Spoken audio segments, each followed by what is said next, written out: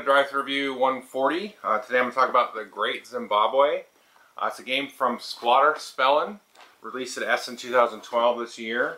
Uh, plays two to five players, and sort of the theme of the game is, I'll call it antiquity. I know some people might uh, part with me on that description, but it's basically sort of ancient Zimbabwe, um, and you are basically these different sort of tribe leaders trying to uh, control trade of different resources and there's some sort of mystical kind of things with the, there's different cards you can draw specialist abilities god abilities things along that line. Uh, it's pretty much unlike any game I've played. I've never played a Splotter game before. This is my first Splotter and I figured I'd uh, do a review of this. It's a little bit hard to find. It's going to be harder to find probably shortly. So I figured let me get a review done of it now. And uh, so if you do have interest in it then you should pick it up now because it'll probably go way up in value I would uh, expect uh, so let me show you how it works and I'll come back and tell you what I think. Okay, so I thought I'd give you just a quick component rundown of everything that's going to kind of come in the game here. Now, the main pieces that you're going to look at here are this board here. And you can see this is the start board. This will be in every game. And you've got starting places where you're going to place your monuments to start the game off. And then you're going to randomly configure the board uh, with these different configurations here. You can see you've got some water spaces. You've got spaces for resources here. And depending on the number of players, you'll set out a different uh, number of configurations. I'll set out a four-player configuration for this. And uh, so this is the main area of the board you're going to be building uh, monuments here and also building craftsmen and also possibly terraforming it, so to speak. So a player may get craftsmen of a sort here and put this on the board. I'll explain how that works. And then you're going to mark that uh, with one of your pieces in a player color. And again, you can take some actions with some special abilities to actually add resources to different spaces on the grid. You could even uh, use the Shaman ability, which I'll cover, and you can turn in water uh, into some spaces or even sort of like add on to water there. So I can show you some of the player pieces here. You basically got two main types here. You've got this little marker here, which you'll put on a craftsman. So if I have a craftsman there, then I'll mark it with me, which uh, means that I own that, and you're going to have to pay me money to use that. And then you've also got these little tokens here, which you'll build, um, like I said, here in a starting spot to start the game. And then you want to try to build this up higher and higher and higher to get points. This is sort of the main way uh, that you'll score victory points.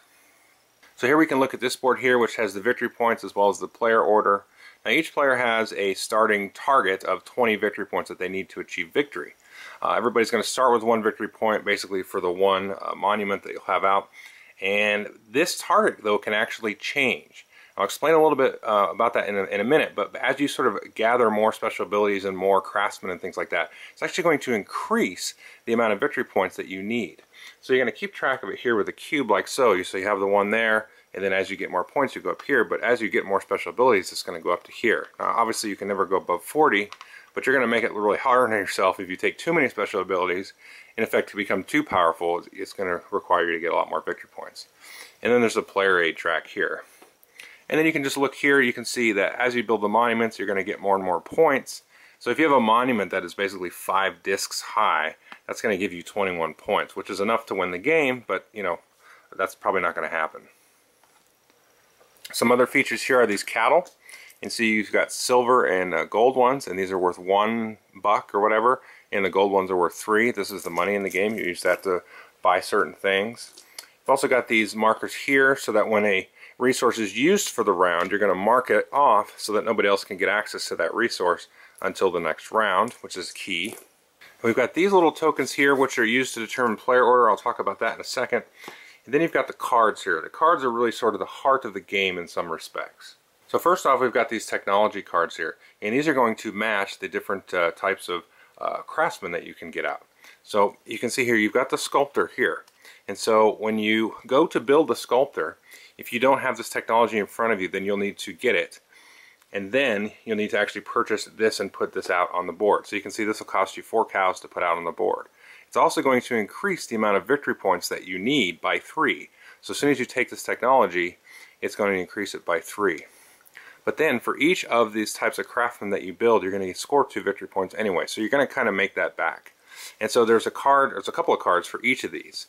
And these craftsmen have sort of a primary and then a secondary aspect to it. So these are all the primary craftsmen at the top here. And you can see the ones for the diamonds here, there's only one type. There is no secondary uh, craftsman in that tree, so to speak. But to get this one out, you'll need to have this one out on the board. Not necessarily by you, but this one will need to be out on the board. And then you'll be able to upgrade to this one. Even if it's not you, you can upgrade it even if somebody else has it. But in a sense, it's almost going to obsolete this first row of technology here. And I'll explain that in a little bit more detail. Finally, we have the specialist cards and the god cards. Now the specialist cards are going to come out every game. You're going to be able to take these on, on your turn if you wish. You can see it's going to increase your victory point requirement by a certain amount. There's a variety of abilities here. And then you have the God cards here, which are going to be uh, randomly shuffled each game. So you're not going to, uh, you know, play with all of these each game. So that'll add a little bit of spice and flavor to the game. Uh, and again, these give you a special ability that you can do and increase the amount of victory points required to win. Actually, I lied a little bit there. I'm only going to set up for a two-player game just in the interest of uh, saving myself some room. So you can see here's a two-player setup with the start tile and then you know the extra tiles there. And you got the three-player, four-player, and five-player setup like so. So the first thing players are going to do is they're going to randomly determine turn order for the first round. But then players are going to place these little monuments here in one of the start player spots here. You can see the little sandals there. Then each player is going to start with three cattle, and then you're going to go into this phase to determine the turn order. This is known as the generosity of kings phase. So what's going to happen is, in turn order, going left to right, so randomly we'll have determined this to start the game, uh, but so the red player is going to be able to bid. He's got to bid at least one or pass uh, of these cattle. So what he's going to do is he'll maybe bid one cattle, okay? He, that'll keep him, so he's going to stay in the bidding. And then the next player is going to come in, he's going to have to bid at least one more, so yellow's going to now bid, since he's next in turn order, he's going to bid two. And then black's super crazy. He's going to waste all his cattle he's going to bid three. So he's going to bid starting on the next one. And then he's going to loop back up here. Uh, here. So he's going to bid there, two, three. And now it's green's turn. Well, green's going to pass, so he's going to go last in turn order. So in this case, green will automatically drop to the last part of turn order. And then the next opportunity will come to red to try to bid or stay in. Now everybody at the beginning of the game has used their three cattle, so red's going to drop out. He's going to move to the third spot and then yellow is going to drop out, and then black. So black will be first, and then everybody's going to take the cattle that was on their card. So that's actually pretty interesting little mechanic there. So you basically keep bidding, and as you pass, you drop out, and you fill up from right to left, and then however many cattle you have on there, uh, you get the cattle. Now I should say there's a special ability on a God card that let you place one of uh, this marker here in front of all the other players, so that no matter what, you're always going to get the first cattle and it, when you loop back around you're going to get the cattle here. So if you have the God ability here, you're going to be able to generate some cattle basically every round through this bidding phase for turn order. So after you've bid for turn order, then you're going to go into the main phase of the game. Uh, again, each player has this little outline here, uh, which shows the technology tree for the different craftsmen, as well as a quick outline of play, which is not too difficult. So the first option on your turn is to take a God card, and you just basically take it and it's yours for the turn. Now you can only take one of these God cards, okay? Once you take a God card, you're locked into that. You're not required to have a God cards, but you want to really think about that and, you know, kind of decide early on what kind of strategy you're going to use with these different God cards. And again, that's going to increase your requirement there. You also have the option, instead of choosing a God card, or if you've already chosen one, you can choose one of the specialists here. Now, to do the specialist, you have to immediately take whatever the action is uh, that the specialist says. So you need to have, and it usually is going to cost some cattle or something like that to use. So when you take that, you've got to be able to actually use it that turn immediately, and then you can use it whenever you want later on uh, other turns. And then you basically have three options on your turn. You can erect a new monument, you can place a craftsman, or you can improve an existing monument. So let me talk a little bit about that. So first, very simply, is erecting a new monument. So very simply what you're going to do is you're going to place one of these monuments out on the board. It's got to be an empty space. It can't have a craftsman on there or be water or have a resource. And you can't be adjacent to any other existing monument. And that includes diagonal or orthogonal. So I can place it there. So I can place it anywhere I want. So I can just play, maybe I place it over here, try to get a little start uh, going. And uh, then you basically take a victory point. And as simple as that sounds, this is probably very much the key aspect of the game. Once you get a good understanding of these god cards and the specialists and sort of the interactions of the craftsmen and how the resources are divvied out, this is going to be a very, very key aspect of the game, and you don't want to um, overlook this at all. Now the next thing you can do is place a craftsman. And you can see you've got sort of a technology tree over here like I said earlier. Basically you've got these types of craftsmen here. and this guy, he needs this resource. He needs to be within three spaces of this type of resource. And then you've also got uh, secondary craftsmen who need to be within range of this type of guy and also its own resource itself. So you can see uh, this guy here requires a tree, and then this other guy requires the basic craftsman and a tree all by itself. So the rules are slightly different for the basic craftsman as well as the secondary craftsman. So the main rule is that you need to be within three spaces of this resource. So I could build him like here, and so he's within one space of this resource here. But then I could not later, nobody could come along later and build another craftsman that also required that resource, like so. So once this guy has sort of a lock on this, he's basically mining this area for uh, this resource to produce goods, uh, then nobody else can come in and take that. He would have to come over, like say over here or something like that. Now in terms of proximity, one kind of neat aspect of this is that water is basically one space, no matter how large it is. So I could actually place this guy here and I could go one, two through the water. So it's the first space and then the second space through water. So that's a kind of a neat way to sort of jump and, you know, kind of get reach from maybe one of your monuments, which I'll explain why you would do this in a little bit, but basically get to some of the other areas that are further away uh, on the board. Now, if you don't already have the technology card that matches this Craftsman, you're going to need to take it, increase your uh, victory point requirement, and then you need to pay and then, uh, you know, to build that. But by paying this amount of cows and building that, you'll get a victory point. So you kind of get some of this back right away. And then once you have this card, then you can build uh, as many of these as you want on later turns. Uh, and there's only th three of each of these. Now you can, if you want, build multiple craftsmen on your turn, uh, but you can never build the primary and then go ahead and build a secondary of the same type uh, on your on the same turn. Now if you were to build a secondary craftsman, here's an interesting part here. So what you could do with this is you can actually use hubs. So just for argument's sake, I'm going to build this guy up here like so, and he is going to basically need this resource, because remember they also need a basic resource, and then he also needs to get access to this but you can actually use hubs to uh, get to that extra primary craftsman. And what hubs are, are these different monuments here. So uh, not only are these going to score you points, but they're also going to act as sort of uh, shipping hubs or however you want to phrase it. So basically I can draw three spaces. I got one, two, three to uh, this hub, and then I can go basically one, basically with the, the water, but if the water wasn't there, I could go one, two, three to this hub, and then one, two, three to that. So he has access via this sort of network of hubs uh, to get to that. And it can be any color, it doesn't matter. Oh, and I should say that you're actually going to mark these to show that you own them. And so when people utilize them, they've got to pay you. And speaking of paying you, when you take this technology card, you're going to put a price on here. So you can choose one, two, or three cows.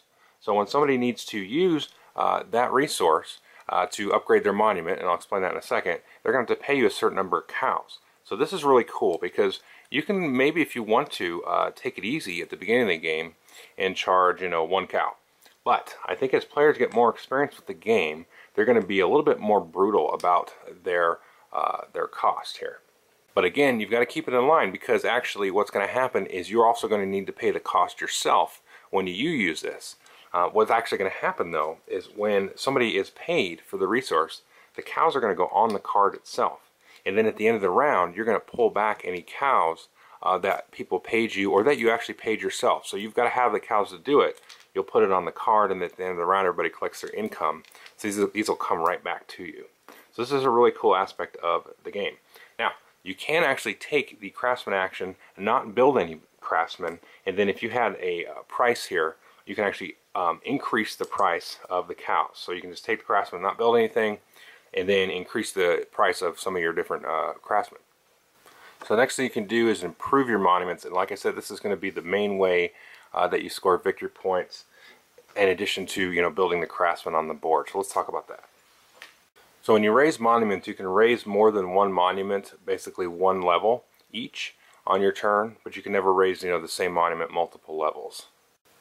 And the way that you're going to do that is you basically need to uh, have one resource uh, per level. So if you're at level 1 going to level 2, you need one resource to go to level 2. If you're going from level 2 to level 3, you need two different resources to go to level 3. And then again, if you're at level 3 going to level 4, you need three different resources and so on. So if you're going to level up this guy here, uh, he's going to need access to a craftsman that has uh, access to a good. And so let's say he was going to use this guy here. So you can see he's got one, basically one, two spaces to him. And then this has access to this good that's far away. So he's got access to this craftsman who has access to this good. So I'm going to utilize that good. I'm going to mark it with this marker there. And boom, I'm going to get, I'm going to put a little monument there and get that amount of victory points. So this is going to get removed at the end of the turn. If I come along later, and let's say this guy's built here like so, let's pretend I'm dominating the board here and he's also got control of that craftsman, then I'm going to need one, which I can get to, and then I can get access to the second one, and so now I can go from level 2 to level 3 and score some victory points. Now it's not always going to be that easy. So let's say this guy was way over here like so. And I was at level 2 and I wanted to basically use this resource which I can use again and then I need to get way far away over here. Well, I'm not going to really be able to access that because I'm at one, two, three, and I can't quite get over there. Well, let's say the yellow player, luckily enough, had a monument they had started. Uh, let's see, one, two, three, and I could put him here. Let's just put him there. And then now he has access to uh, this space here. And so I can go one, two, and then I've got to use one hub. So when I use a hub, I have to pay a cattle into the bank. So I pay it right back into the bank, and then I'm going to pay whoever owns the craftsman again to use the resource that the craftsman has access to. So in this case, I'm just paying myself, but remember, all the cattle is going to come off the card and I'm going to get it right back. Now the key aspect of this is as these secondary craftsmen come out, they basically are obsoleting these primary craftsmen. So what I was doing here in this example was technically illegal. So let me explain to you the legal way of doing this now that this is built. Now if this hadn't been built, then I could have done what I did just fine. But once this is built, I basically am forced to access the primary basic good, which ends up being this guy, through this secondary craftsman. They kind of come and they corner the market, and this guy becomes obsolete, even though they require this one to be existing. So it's interesting here. So if, let's say I just wanted to build uh, this first level and forget about this purple resource. So now that this guy's built, I have to use him. So I've got access to him. I can go one, two, three, and he's going to use up his main resource because remember he needs the resource all by himself and then he's got to work back to this guy. So I can go one, two, three, basically using myself as a hub, and then back here, and then go to this one here like so, because he's three away. So I'd have to pay a, uh, a cattle to the bank to, because I use a hub jumping back from this guy to try to get access back to here. So it sounds probably more confusing than it is, but basically just the thing you have to keep in mind is that when the, the secondary craftsman comes out, I've got to use him, and then I can use hubs from him to try to jump to get to the primary craftsman. And this becomes especially more difficult as you know more of these get built and more of these resources are being used and you know you need to sort of start being able to bounce around hubs and that's why I talked about the beginning having this locations uh, early in the game is going to be very very key. That's pretty much the game. I'm pretty sure I flubbed up something there trying to explain that part of it but uh, basically, you uh, you bid for turn order. Everybody takes an action, maybe activates some of their special abilities, and then you collect any income that may uh, be existing on your cards, and then you kind of see if check for a victory. Now, the game's going to end in the round that somebody passes their target victory marker. If more than one person passes it, basically whoever passed it by the most is the winner. So if my target was 20 and I got 23 points, that means that you know I passed it by three. But if you also pass it and your target was 26, you know, from taking extra ability cards, and you got 27, you only beat your target by one, so I would actually win. Okay, so let me, I'll, I'll, go back to my talking head there and talk a little bit about some of these various god abilities and these specialist abilities. Okay, I hope you enjoyed the overview, and like I said, I was going to talk a little bit more detail about the different special abilities uh, as I came back here. Um, I think I maybe probably turned some people off there with some of my descriptions. I tried to be as clear as I can. Uh, I think this is a, it's a kind of a game where you're gonna have to just kind of play it once and get the feel for it and kind of see it sort of organically grow. Uh, some of that location stuff can be uh, sort of tricky, but once you get the hang of it, it's not too bad at all, really. So some of the, uh, the ability cards. Okay, so here is maybe a problem with the game. And I'm not sure, I haven't played it enough to know, but we had a discussion with my group um, after a couple of different games. And it basically seems like a couple of the cards could be, uh, the God card specifically, could be overpowered. Now, that might be because of the random distribution of them, because you don't use all of the God cards. You shuffle in, and then you use only a few each game. Uh, so, the two that come to mind, or three possibly, that come to mind, are this one God ability that lets you use the same type of resource instead of uh, different different types of resources to raise your monument. So I don't see personally how that could be um, that overpowered. So I'm, there's a disagreement there, um, but I think that if you zoned it in the right way so that you didn't let the person have access to, uh, you know, the same resource over and over, it shouldn't really matter that big a deal. Now the other one that is probably a little bit more problematic is there's a God card that lets you use a resource that's already been used once per turn. So remember you put the marker on there that uses up the resource for the round. Well, if you've got this one God card, you can come in and just double dip all those resources. And there's really nothing you can do to stop them. I think, okay, and I'm, this isn't, I'm not trying to say this is gospel at this point. Um, but what's going to be important, especially towards the end of the game, is turn order because you really want to get access to those resources, build up your monuments before everybody else, use up all the resources so they can't use them. Um, and then, so that's going to be very, very much key in the, especially the middle to later part of the game. Uh, the other God card I kind of showed you about it is the that turn order one where you put that tile in front. So if you've got that God card, people are going to uh, give you cattle every turn. Um, and I really, really enjoy using that card. um, so, but the thing is, is if there is a God card that is particularly overpowered, you can just not use it because you don't use every card every game. So you can say, you know what, we don't like this, our group doesn't like this card, throw it out. And I, am okay with that because um, I think I'm okay with that. I just I haven't played enough, so it's just it's sort of a caveat to um, to take in mind. So I personally don't have wouldn't have a problem if the one God card turns out to be eh, slightly overpowered, or maybe you can errata it so that the victory point requirement is instead of uh, three, it's like six or something. Um, but other than that, I really enjoy this game. I really like this sort of real estate aspect of it, how location is very important, uh, and the basically the management of the different special uh, powers that you can get uh, that really, uh, the whole aspect of pushing up your victory point requirement as you take on these different specialists and the different god cards. Um, you can only take on one god card, but you know, I really like that aspect of it. And the whole, the turn order bidding is really cool. I don't know why I like that so much. Uh, it's one of those things where this game is a little bit tricky to explain, um, you know, verbally. It's, the game, games uh, can sometimes have sort of a other language uh, thing to them. So it's not like I'm telling you a sentence about something. It's like, okay, you remember that time you put the red thing there? Yeah, that was neat. you know, um, sometimes it gets like that. In this game, I kind of get that. Uh, uh, takes me to that whatever that other language functioning level is. Uh, so anyway, sorry about that. Um, but uh, this has a lot of those little cool aspects of it. It's very much in your face, and I really like how you can raise the prices of your stuff.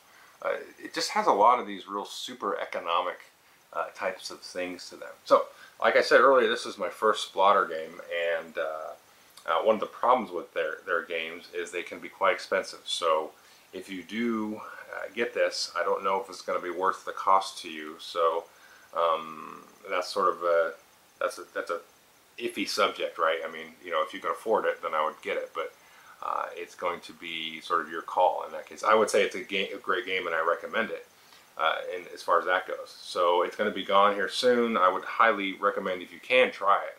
I think um, it's not going to be for everybody. I have a feeling that some people are not going to like it. I mean, there's people in my group that don't really care for it. But I really enjoy it. I really, really enjoy it. Uh, one of the best games I played this year, probably. Uh, I need to give it some more plays and some other games some more plays.